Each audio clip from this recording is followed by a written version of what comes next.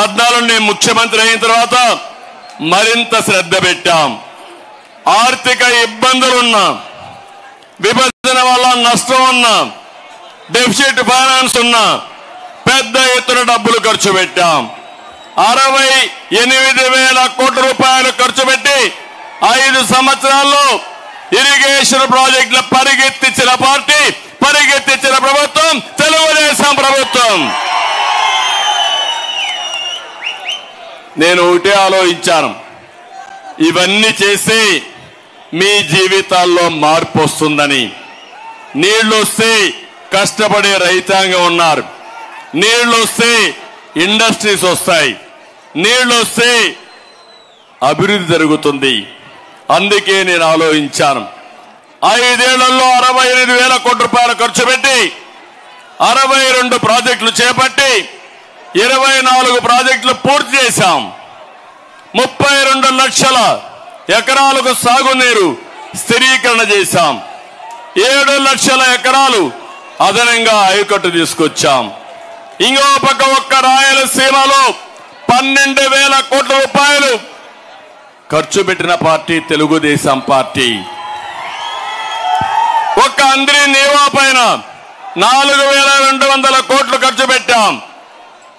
పనులు పరిగెత్తిచ్చాం. రాత్రిలో నేను వచ్చి అక్కడే బస చేసి అధికార యంత్రాంగాన్ని అప్రమత్తం చేసి అడ్డంకులు తొలగించి శ్రీశైలంలో వచ్చే నీళ్ళు వీకోట వరకు తీసుకొస్తే దుర్మార్గులు తొంభై శాతం పూర్తి చేసిన పనులు పది శాతం చేయలేక చెరువులకు నీళ్ళు ఇవ్వలేక పొలాలకు నీళ్ళు ఇవ్వలేక త్రాగునీటి సమస్య సృష్టించే పరిస్థితి వచ్చారు. అదే నా బాధ నా ఆవేదన.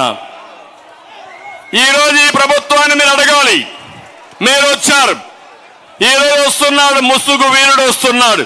నిన్నటి వరకు పరదాలు చుట్టూ వేసుకొని వచ్చాడు కానీ ఇప్పుడేదో నేను కూడా వస్తా అన్నాడు.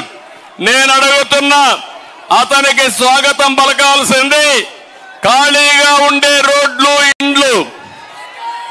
ఏ ఒక్క వ్యక్తి అతన్ని కానీ పలికితే సహకరిస్తే రాయలసీమకు అన్యాయం చేసులవుతాం రాయలసీమ ద్రోహి నువ్వు రావడానికి వీలు లేదు జగన్మోహన్ రెడ్డి అని గట్టిగా చెప్పాలి. చెప్పడానికి సిద్ధంగా ఉన్నారా మీరు? రెండు వేల నూట అరవై ఐదు కోట్లు ఖర్చు పెట్టాడు. ఒక్క ప్రాజెక్టు పూర్తి చేయలేదు. నూట రెండు ప్రాజెక్టులు రద్దు చేశాడు. ఒక్క ఉమ్మడి చిత్తూరు జిల్లాలో ఇరవై ఐదు ప్రాజెక్టుని రద్దు చేసిన నీచ చరిత్ర ఈ వైఎస్ఆర్ కాంగ్రెస్ పార్టీది. నేను ఒకటే ఆలోచించాను. ప్రతి ఒక్క ఎకరాకు నీళ్ళు ఇవ్వాలని ఎన్టీ రామారావు గారి ఆలోచన కరువు గడ్డని నీరిచ్చి రతనాల సీమగా ఆలో చేయాలని ఆలోచించాడు. నేను ఆలోచించాను. ఒక కృష్ణా జలాలే కాదు గోదావరి జలాలు ఈ రాయలసీమకు తీసుకొచ్చి మీ జీవితాల్లో వెలుగునివ్వాలని నేను ఆకాంక్షించా. రెండు వేల నూట అరవై ఐదు కోట్లంటే సాక్షి పేపర్ ఉంది ఇక్కడ. పనికి మాలిన అవినీతి పేపర్. అవినీతిలో పుట్టిన పేపరు.